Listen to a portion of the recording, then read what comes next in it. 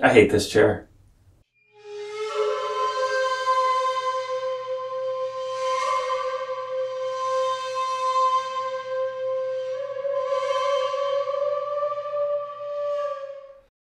So, anyone who is interested in Japanese history or armor knows about the Jingasa, right? You know, this thing? But it's most well known as the conical shaped helmet of the Ashigaru. You know, like this. Well, years ago, I saw something in an online scan of a scroll where a Jingasa was used a lot like a buckler. Then a while back, I came upon this video of it actually being done. Take a look.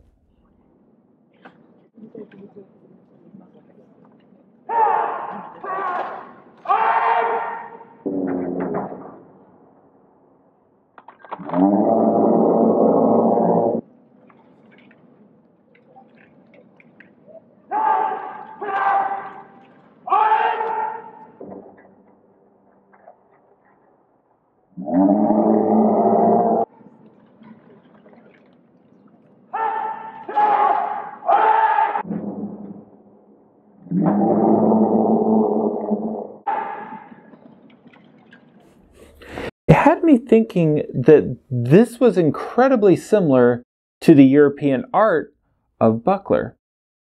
Let's take a look at that and see what similarities we see.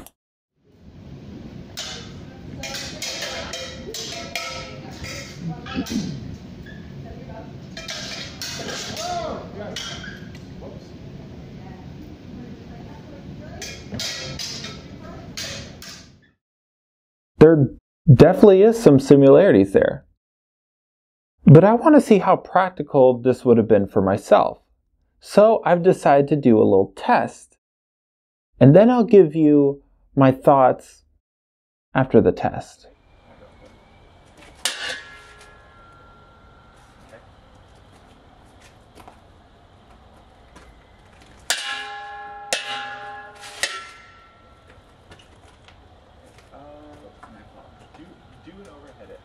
Overhead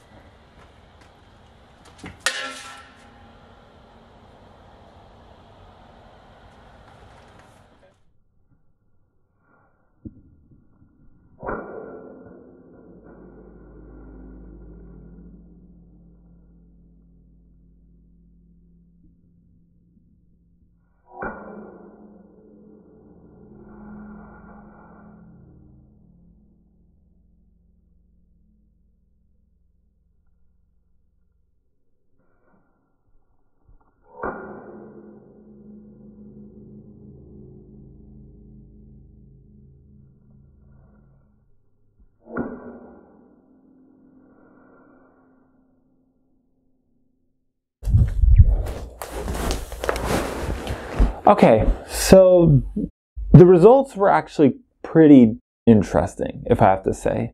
So initially, I'm going to be honest with you guys, I didn't think that this was going to work as well as it did. You see, one, one thing that bothered me and really concerned me was the inside of the Jingasa. This is typically how it looks, right? In the scroll work, it actually shows that you're supposed to cross this and grip it underneath with your knuckles inside this little pillow. Now, this had me worried because I thought that if it if the sword hit, it was going to move it, knock it around, and even um, if it hit on this side, it was going to eat into my arm, which it kind of did. Um, I have a little bit of bruising and redness here. I'm probably going to get blisters. I also have sensitive skin, but while all of this was happening, I actually didn't notice or feel the any pain or, or anything. And if your foot soldier is wearing any type of padding or, or armor on his arm, then he's probably going to be just fine. One thing that we did discover is that this was really something you needed to move with and deflect you couldn't just stand there and uh, block with it.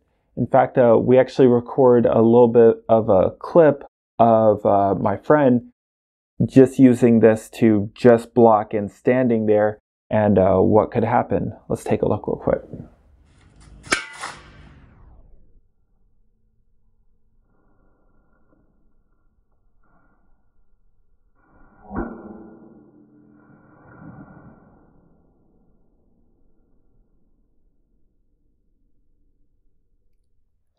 So as you can see, if uh, if you just stand there and you block, it's actually really easy for a swordsman to then make the next move and uh, come in because this, while it does deflect and, and it does redi- redirect, it um, it just doesn't do that good of a job. So it definitely needs some movement.